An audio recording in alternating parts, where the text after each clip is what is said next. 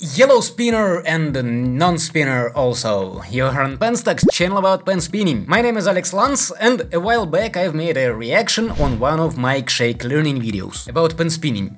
Obviously, as this is the only thing I'm interested in. And under it, Aritra Sinha, a pen spinner from India, left this comment. Mike Shake is still fine, but Pigmie, oh my god, he doesn't even care how he does, how he dies it. It in sleep. Okay, smartass, let's see what this mystery's all about. Pigmie pen spinning. Oh, he's made several videos about pen spinning, huh? Okay, learn how to spin a pen in only 5 minutes. Cool skill while bored.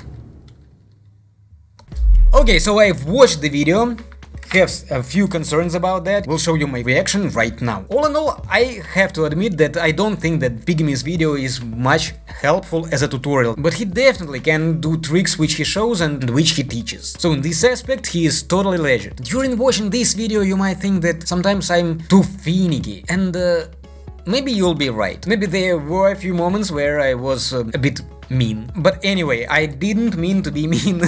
I love when people make pen spinning tutorial videos, not this useless crap from TikTok. Videos that have some explanation, some tips, hints. So in any case, Pigmie's video deserves my like. Do you want to be the coolest ninja in class? Yes. The office wizard? Or just have Sure. a fun skill to work on while Yes, you're bored please. at home? Bored? Whoever gets bored at home nowadays when there is YouTube. In fact, I don't like when people say that pen spinning is for killing boredom. Maybe in office, in class, yes. But in general it is a good way to spend time, which you can combine with multiple different activities. Then follow along with me in this video and in only 5 minutes. Is it Pilot G2? Awesome! One of my favorite pens to spin. A really good choice if you are about to learn just a few simple pen spinning tricks with simple pens. I am going to teach you 3 super cool pen spinning tricks you can learn right now. Okay, super cool. But you gotta focus. Damn, that look is intimidating. I'd better really be focused. Who knows what this dude is capable of. Anyway, that sounds and looks promising. I'm really hooked and have prepared my pen. Focused as hell, yes. Awesome. Grab a pen or an unsharp pencil. And Yes, this really is Pilot number G2. one, the thumb around. Okay. Now it's easy to grasp the concept of this move simply without a pen or a pencil at first. Doing the trick without a pen will also be much easier. But if you really wanna master pen spinning tricks and become an office wizard, you will need a pen mod. You can make one, a Bictory mod, I have tutorial for this mod on my channel. Very simple but not ideal tool. Just take your palm, supinate it, which means turn it towards the sky. Towards which guy? This guy? Then what I want you to do is take your middle finger and your thumb and put the tips together. If you can, of course. That's not the easiest task. But if you can't connect middle and thumb, how the hell do you use smartphone? Anyway bro, I have a video tutorial for you in this case. It is called something like warming up and stretching fingers. Watch it and soon enough you will be able not only connect two fingers, but connect four fingers. What are you waiting for? Link in the description. Now you can do a simple snap motion like you would be snapping your fingers at someone. The motion you are going to use to achieve the thumb around is very similar to that simple snap. the only difference is you may want to have your middle It's finger the only slightly more towards the side of your thumb as so. So, why exactly should we learn how to snap fingers? This motion has very little in common with snapping, come on. And just slightly moving fingers. It's like saying, first learn how to spin pen on thumb, then throw it towards this guy. Thumb around is pretty similar to that. Technically it is. Now when you're ready, just like I'm doing in this example, you want to grab your pen or pencil and hold it towards the front third. Towards which exactly front and where? I'm sorry, but this moment is unclear. This is so when it spins over your thumb, you'll be able to grab it rather than it flying off.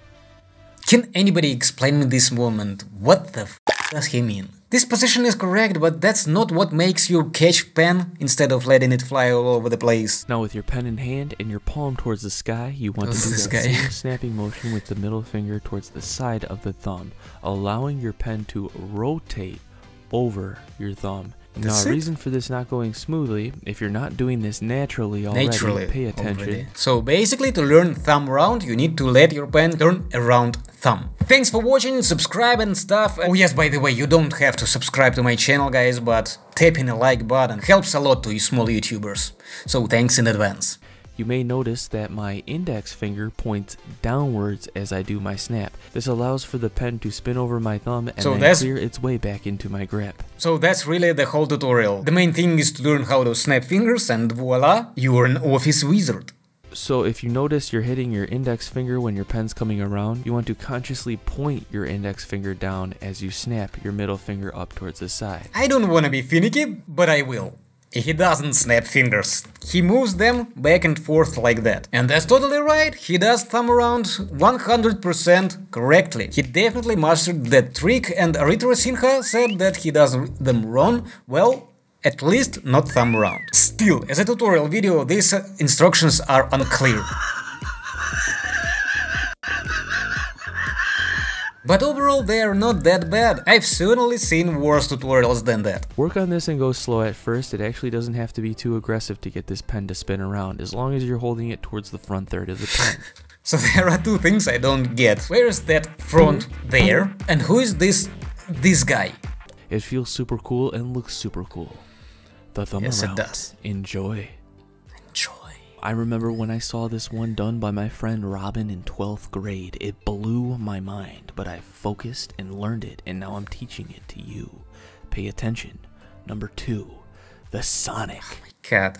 I really like his teasing, but the voice tone makes me uncomfortable. Does he want to make pen spinning sexy? Ladies and gentlemen, they told me come to America. You're gonna see beautiful. Sonic. The f- I am beautiful. The f- you think? Huh? All of this is sexy. Sexy? Yes, Where? everywhere. Oh my god. All of this. I wanna go back to my country today. I Okay, want. go back to I wanna go country. ride the sheep in the camel. Now take your pen or pencil and hold it in between the ring finger and the middle finger at about the middle of the pen Not or Not pencil. middle. To understand the primary motion we want to achieve, you can simply take the bottom or top of your pen or pencil and rotate it in a circle as so. Well, if you don't really have much to do and you don't plan to learn Sonic, such a rotation would be one little part which might be helpful when you learn charge. Charge. Charge.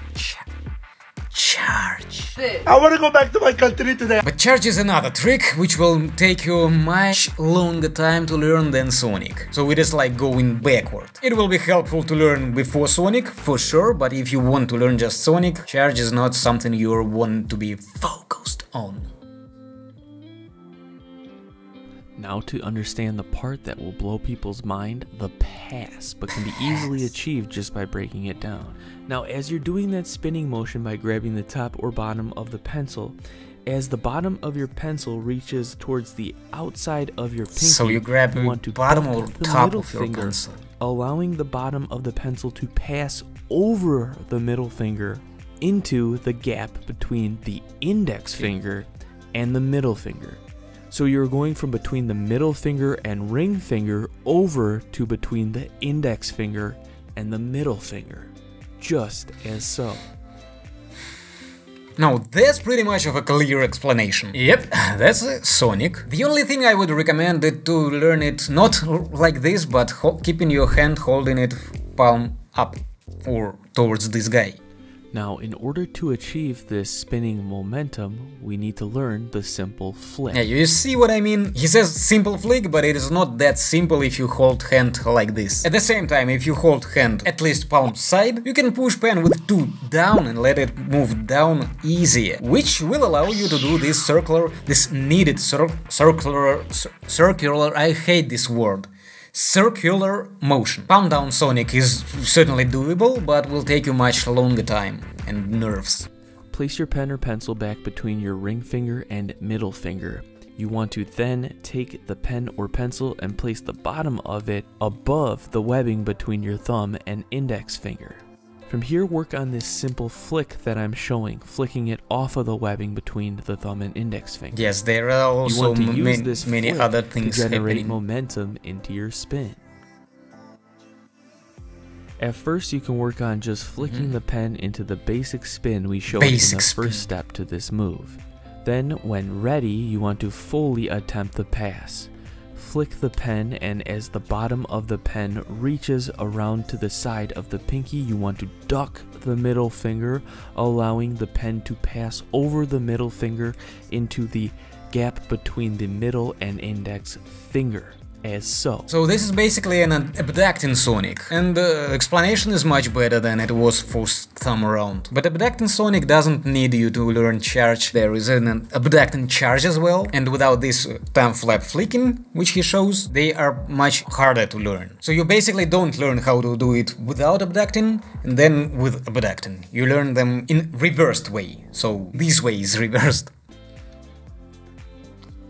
It is super trippy, but looks super cool. The Sonic. Sonic. Finally, number three. There may be an official name for this, but I am calling it the over the top. Please call it Neo You start by taking your pen or pencil and holding it at about the center between your index finger and middle finger. No, no, hold it closer to one of its tips, you will thank me later.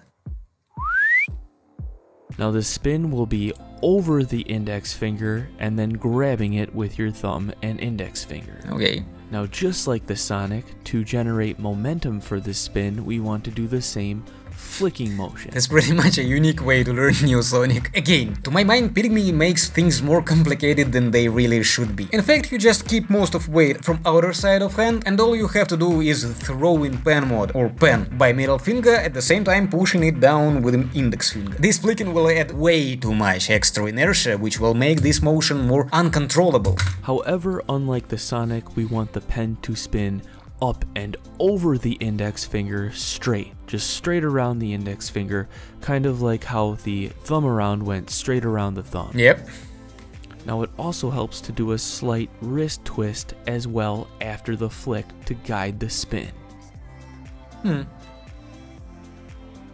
Okay, now this is a really good tip. This wrist motion might be helpful, just ignore this flicking part. And don't get stuck with this wrist motion, it can help to get a concept, but doing trick properly with it will be much harder. If you can't get the pen to spin properly at first, it can really help just to grab the pen in the proper position, do the wrist flick, and actually spin your pen like twirling a drumstick in the air and then trying to In the grab air? it between the thumb and index finger, as shown. Now you can slowly tighten up this throw, bring it closer to that index finger more and more until it becomes the spin, the up and around. He really throws pen in the air to make Neo Sonic. Again, I don't understand why he always goes backward, from hard part to simple one. Aerial trick variations are always harder than non-aerial. I thought this is obvious. It's like, bro, to learn Twisted Sonic Bust, you have to learn how to do triple Sonic Bust and then reduce two of them. Congratulations. Ooh, feels so good, looks so cool. Now you can does, combine yes. these three spins together as shown for a super cool combo. You're a wizard. Nah. You're a ninja. No, no, no, no, no, no, You're no. not bored anymore. No, no, no, no, no, no, no. This is not combo. He just makes three separate tricks one after another. No game would count that as a combo. An actual combo of these tricks will look something like this. Let me know in the comments how learning these spins worked out for you. We are going to be learning a ton more skills Okay, and quickly, there is so outro. stay tuned. Okay, I think that I enjoyed this video more than I didn't enjoy. Can I say like that? Anyway, as I told, I like when people make pen spinning videos. It brings more attention to our hobby. More attention means more people, and more people means more fun. I wish you good luck with all these tricks. Develop your style, enjoy your failing. Bye.